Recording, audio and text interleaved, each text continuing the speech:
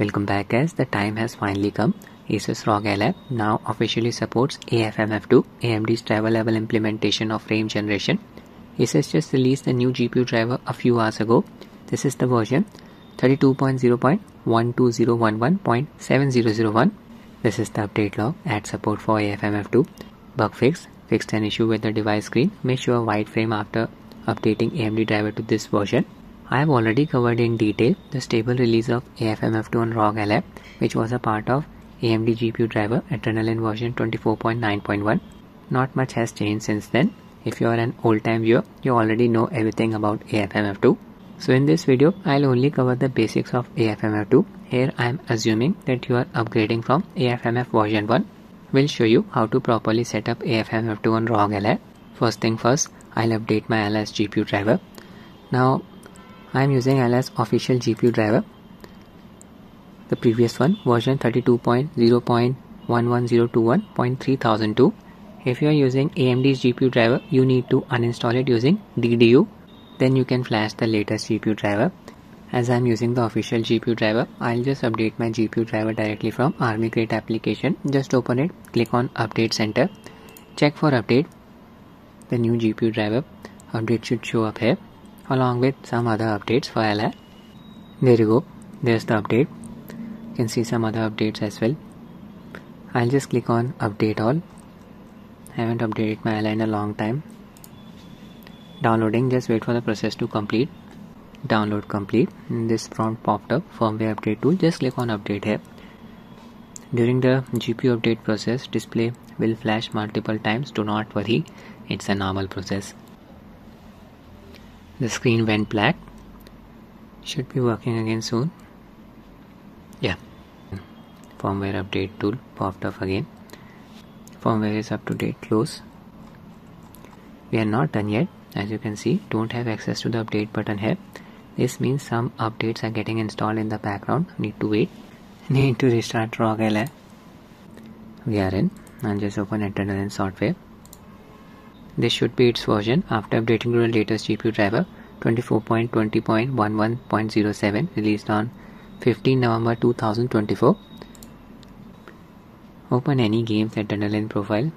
Just select Elden Ring. Here you should be seeing AFMF2. There you go. Now I'll quickly go through the improvements that AFMF2 offers over AFMF1. It fixes the biggest flaw of AFMF1 that is frame generation smoothing effect getting disabled during fast visual motion but this comes at the cost of image quality. Minor graphical artifacts are produced around the character model, but I'll be very honest with you, these artifacts are not easily noticeable on Ally's small display, especially when the base FPS is on the higher side, higher than 60. AMD recommends a minimum of 60 as the base FPS for using this technology. This helps in keeping the latency in check and reduces the graphical artifacts that frame generation technique produces. But I'll be honest with you, decent results are produced even when the base FPS is around 40. At about 30 fps, some artifacts are noticeable like garbled textures around the character model, but you can still use this technique even with a base fps of 30. Version 1 used to produce a latency value of around 40 milliseconds on ROG Ally. With version 2, latency value usually stays within a range of 15 to 20 milliseconds. Yes, you heard it right. It's less than half of the latency value of AFMF1. API support has been expanded for AFMF2 Version 1 was only compatible with DirectX 12 API, whereas version 2 is compatible with OpenGL, Vulkan, DirectX 11 and DirectX 12 APIs. Version 2 supports both full screen and borderless full screen modes, whereas version 1 only supported full screen mode.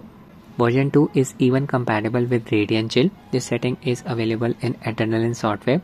It's a low latency FPS capping solution if the game's base FPS is higher than 60 on ROG Ally, just cap the FPS at 60 using Radeon Chill. Now when you enable AFMF2, it will try to double the FPS by adding interpolated frames. FPS will not exceed 120 that is ROG Ally's maximum refresh rate. This will result in a very smooth looking animation. In order to use Radeon Chill, just need to enable it and set the idle and peak FPS values to 60 basically the same values Another thing that you need to know is that when you enable Radeon Chill, you won't be able to use Radeon Anti-Lag. Anti-Lag helps in reducing the latency. So if the game space FPS is lower than 60 on Ally, don't use Radeon Chill. Just enable AFMF2. along with anti-lag it got enabled automatically I'll quickly explain AFMF2's settings now first we have search mode set to auto by default now when you set it to standard AFMF2 just works like AFMF1 frame generation smoothing effect will get disabled during fast visual motion. Don't use it on ROG Ally just set it to high. This ensures that frame generation smoothing effect does not get disabled during fast visual motion. Performance mode. Just set it to quality. I tried using performance preset of performance mode. Didn't observe any noticeable improvement in performance. You'll get the best looking image quality with the quality preset here.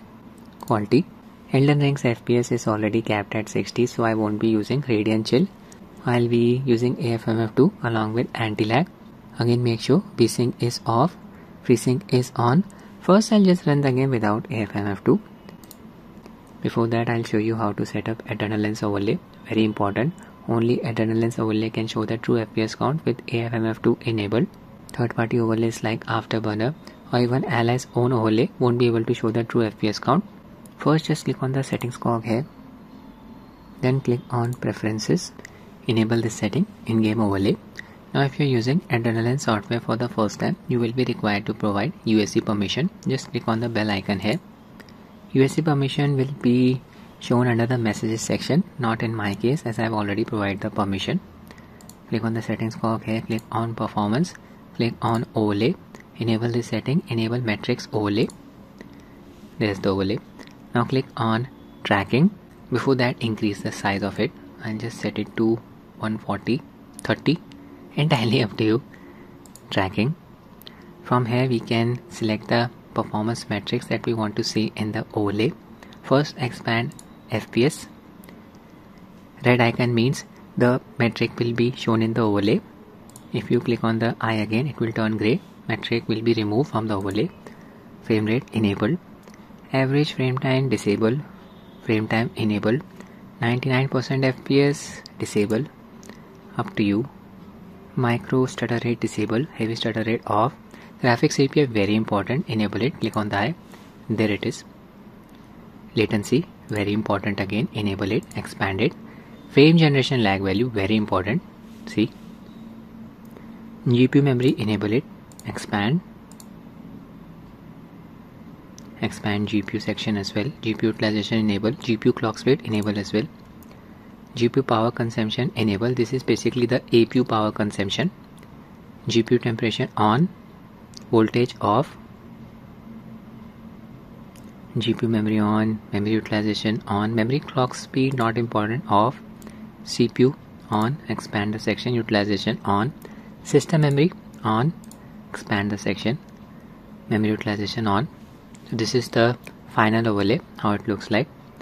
Now click on overlay here enable the setting game detection for matrix overlay. It's gone. It will be enabled automatically when you launch any game. The hotkey combo for enabling this adrenaline overlay is control shift and o. You can even add an AFMF toggle to command center. Show you the process. Just open Armoury Crate click on the settings cog here. Under edit command center click on add. Here look for AFMF there it is. Select it now if you press the command center button AFMF should pop up here. There it is. Connected my GuliKit KK3 Max gamepad to Alive app Bluetooth mode. Launch Elden Ring. I set the UMA buffer size to 5GB while I running on BIOS version. 441 using a 30 watts manual profile all three power values set at 30 watts. 900p resolution CPU boost disable. Yeah AFMF2 off. Anti-lag setting enable this is Adrenalin's overlay shows the status of adrenaline features. In-game settings display mode set to borderless window 900p resolution. I'm basically using the medium preset motion blur disabled anti-aliasing quality set to high global illumination set to low. There's a character. This is shadow of Erdtree expansion. I'm in the Gravesite Plain area. Yeah here FPS is around 50 not hitting the GPU bottleneck 90% GPU load. Game's performance is limited by the single core CPU performance. Check out the input response this is the game running without AFMF2 graphics API DirectX 12 now we can enable AFMF2 on the fly by pressing its hotkey combo. It is alt shift and G. I was not able to get AFMF2 working by enabling it from command center shortcut C. Nothing happened. Frame generation lag value should be dis beg your pardon should be displayed if AFM2 is working. I'll just enable AFM2 manually open Adrenaline settings press alt plus R keys together. Gaming.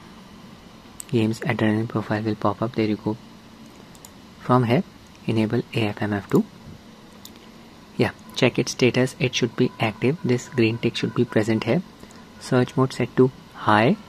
Performance mode set to quality. Go back to the game. There's a character. You can see fps increased to around 90 frame generation lag value only 16 milliseconds. This is very good. Any value under 20 milliseconds is good.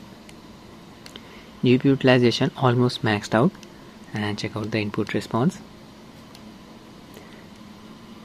Very small increase in latency nothing extreme. You can definitely play the game. No significant graphical artifacts games HUD elements are also not flickering. Very good results in Elden Ring 2 beg your pardon Elden Ring.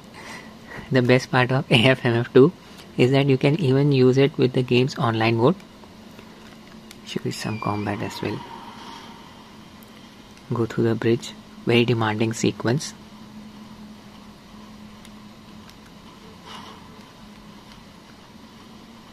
80 fps here I'm heading for castle front.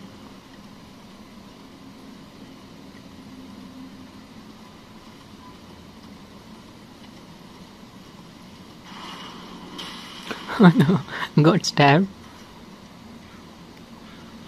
70 fps still the game is running smoothly. Goes to show how effective AFMF2 is. Okay I'll just kill these guys why am I running away? I'm wearing Radahn's armor. 80 FPS so excellent results in Elden Ring with the AFMF2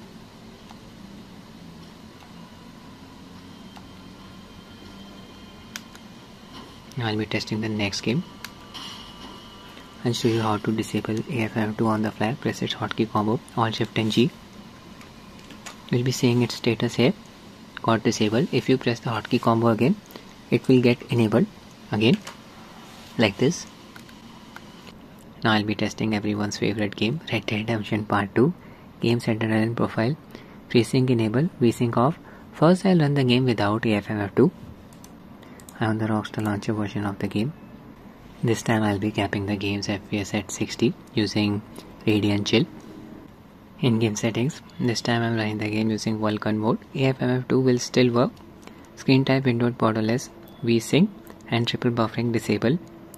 Texture quality set to high, isotropic filtering set to 16 times, rest of the settings set to medium. FSR to enable using the upscaler's quality preset. Vulkan API. There's a character here we are getting around 55 fps i was expecting the fps to be higher than 60 that did not happen i usually run the game using directx 12 mode this time i switched to vulkan. I think that caused the performance regression even the vram usage shown here is not accurate. Just pause the game. Your here fps increased to around 136 i'll be applying a 60 fps cap using Radeon chill. Wanted to show you that feature. Input delay without AFMF2 now I'll open it in. Settings press alt plus R keys together. AFMF2 on. Search mode set to high. Performance mode set to quality anti-lag setting got enabled but I'll be enabling Radeon chill setting. This will disable anti-lag setting. See? Just set the ideal and peak FPS values to 60 this will apply a 60 FPS cap VSync off. Back to the game. It's paused. Check out the fps count now. 120 see not exceeding ROG Ally's maximum refresh rate value. Now the game's fps will stay within Ally's vrr range that is 48 to 120 can observe the added amount of smoothness. This is amazing. Fps value is around 105 but i am also observing some garbled textures around the character model. I'll be honest, it's a bit difficult to observe these garbled textures when you move the camera at a normal speed like this. Game's HUD elements are not flickering. Input delay is not a problem. You can see the frame generation lag value only 12 milliseconds. This is just amazing. Crosshair is not flickering. I've seen this happening in some games when using LSFG.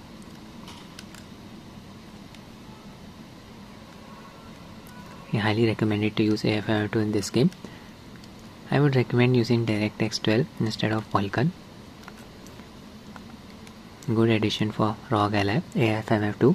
I have already tested many games with AFMF2. You will find these videos on the channel. Do check them out. So that's it with the video guys. I hope you find it useful. Thanks for watching and have a nice day.